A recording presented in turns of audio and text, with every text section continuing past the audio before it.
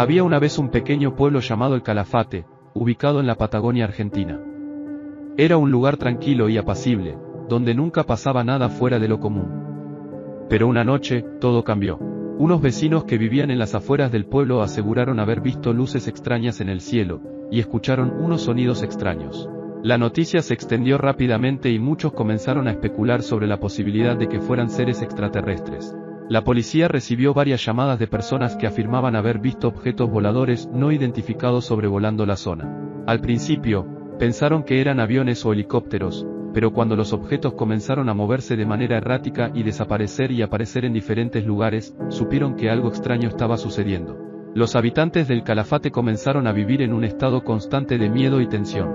Se organizó un equipo de investigación para tratar de explicar lo que estaba sucediendo, pero todo lo que encontraron fue más confusión. La situación llegó a un punto crítico cuando un grupo de personas que estaban acampando en las montañas cercanas al pueblo desaparecieron sin dejar rastro. Se inició una intensa búsqueda, pero no se encontró ningún rastro de ellos. La única pista que se encontró fue un extraño objeto metálico que parecía haber caído del cielo. La noche siguiente, mientras la búsqueda continuaba, el pueblo fue atacado por seres extraterrestres. Nadie sabe exactamente lo que sucedió esa noche, pero la mayoría de los habitantes del Calafate desaparecieron sin dejar rastro. Los pocos que sobrevivieron afirmaron haber visto luces brillantes y haber escuchado extraños sonidos antes de que los seres extraterrestres los atacaran. La historia de lo que sucedió en el Calafate nunca fue explicada. Muchos especulan que fue un ataque extraterrestre, mientras que otros creen que fue un experimento militar secreto. Pero lo único que se sabe con certeza es que algo extraño sucedió en esa pequeña ciudad patagónica, y nunca se sabrá realmente qué fue.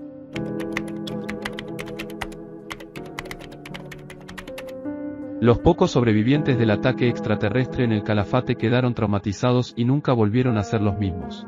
Algunos se mudaron a otras ciudades, tratando de dejar atrás los recuerdos dolorosos de aquella noche. Otros, sin embargo, se quedaron en el pueblo y trataron de reconstruir sus vidas, pero siempre vivieron en un estado constante de miedo y paranoia. Los sobrevivientes nunca pudieron explicar con precisión lo que habían visto esa noche. Algunos hablaban de extrañas luces y sonidos, mientras que otros describían seres humanoides con ojos brillantes y aspecto terrorífico.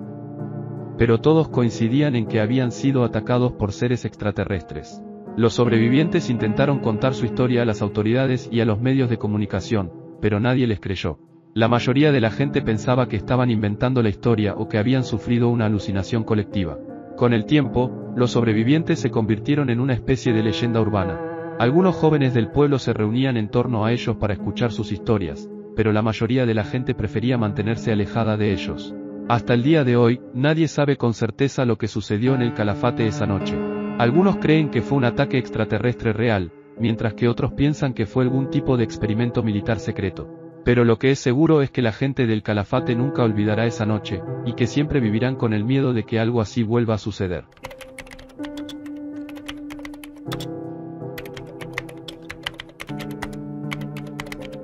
Nadie sabe con certeza lo que querían los extraterrestres con las personas del Calafate. Algunos especulan que estaban interesados en el objeto metálico que se encontró en las montañas, y que atacaron el pueblo para recuperarlo. Otros creen que estaban realizando algún tipo de experimento o estudio sobre los seres humanos. Lo que sí es cierto es que el ataque fue extremadamente violento y agresivo, lo que sugiere que los extraterrestres no tenían buenas intenciones. Algunos sobrevivientes afirmaron que los seres parecían tener una especie de tecnología avanzada y parecían estar coordinados, lo que indica que podrían haber sido una especie de fuerza invasora o militar. Sin embargo, todo esto son solo especulaciones y nunca se ha obtenido una respuesta clara sobre lo que querían los extraterrestres con la gente del Calafate. El incidente sigue siendo un misterio sin resolver y ha dejado a la gente con el temor constante de que puedan volver a ser atacados en cualquier momento.